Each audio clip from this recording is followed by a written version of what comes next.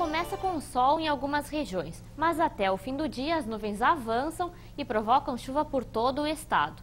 Durante a tarde, as temperaturas seguem elevadas e ainda há risco de temporais de forma localizada.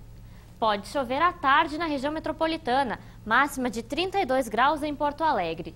Áreas de instabilidade em Rio Grande no litoral sul, mínima de 20 graus. No noroeste gaúcho, a terça-feira vai ser instável. Em Ijuí, o dia já começa com 21 graus.